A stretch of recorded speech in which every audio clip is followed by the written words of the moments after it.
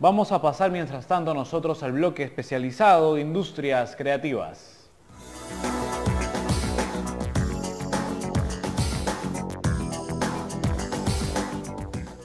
9 de la mañana estamos en el bloque Industrias Creativas con el ex ministro de Comercio Exterior y Turismo, Rogers Valencia Espinosa. ¿Cómo está, ex ministro? Muy buenos días. Muy buenos días, estimado Lenín. Muchísimas gracias por tenerme otra vez en Agenda Política PYME y en este, en este canal que lo ven los emprendedores del Perú. Un saludo a todos. Bueno, es ministro, queremos conocer cuál es el tema que usted tiene preparado el día de hoy. Fíjate, el, día de hoy yo quería tocar un tema que es un tema tanto de coyuntura como un tema de fondo. Y este es el tema de qué tamaño es nuestro mercado. Entonces, hay, cuando uno se pregunta, por ejemplo, para, toda, para toda industria, para todo negocio, quién es mi mercado, quién va a comprar mis productos. Y uno mira cuántos son los productores, eso tiene que tener una cierta dimensión.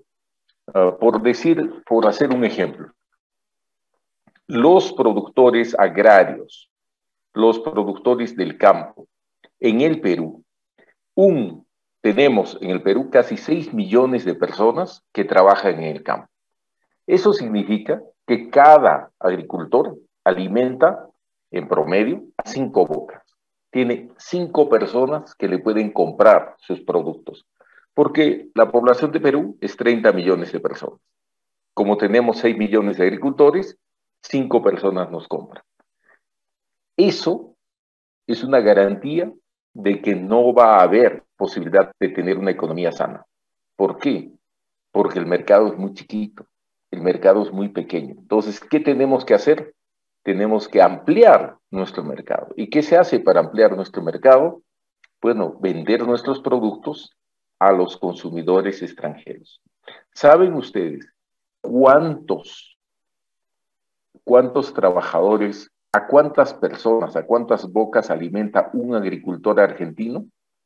En promedio a 240. Un agricultor europeo similar, hasta 300. En Estados Unidos es más, de 350 a 400. ¿Eso qué significa? Si tienes 400 personas que te compran tu producto, significa de que puedes venderlo a buen precio. Igual para nuestras confecciones, igual para todos nuestros productos. Y esto es un tema muy importante de tomar en cuenta, especialmente cuando se habla de productos culturales, para que una película, para que una canción genere los ingresos necesarios, no puede quedarse en el nivel de canción, por ejemplo, vernacular.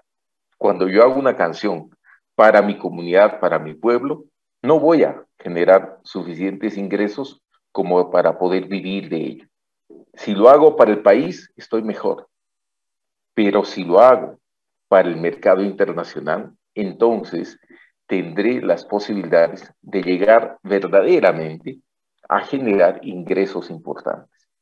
Esto es, uno, es consecuencia de lo que hoy día es el mundo. El mundo está integrado. Lo que pasa en Colombia nos afecta. Lo que pasa en Argentina nos afecta lo que pasa en Venezuela nos afecta. ¿Cómo nos afecta? Bueno, en el caso de Venezuela es clarísimo.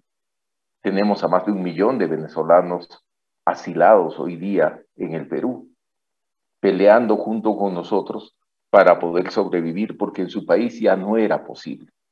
Pero también esos espacios nos generan oportunidades. ¿Dónde están las oportunidades? por decirles una cosa, el Ministerio de Comercio Exterior y Turismo tiene más de 30 oficinas comerciales del Perú. Estas oficinas comerciales están tienen la misión de estudiar el mercado donde están para poder alimentar al productor peruano y decirle, en este país necesitamos este tipo de productos.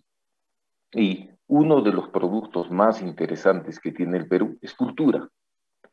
Es no solo, y cultura no solo significa turismo.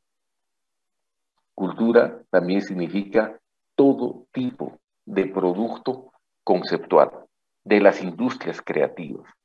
Todo tipo, desde, desde el arte hasta la moda. Y estas oficinas comerciales, en Estados Unidos tenemos cuatro, cuatro oficinas solo en los Estados Unidos. Y tenemos oficina en Canadá, tenemos oficina en México, tenemos oficina en casi todos los países de Latinoamérica, tenemos oficina en lugares importantes de Europa, ¿no? Estamos, estamos en Francia, estamos en Bélgica, estamos en Holanda, y tenemos oficinas también en lugares tan distantes como la China, donde tenemos tres oficinas, Taipei, uh, tenemos en Beijing, y, ¿y para qué?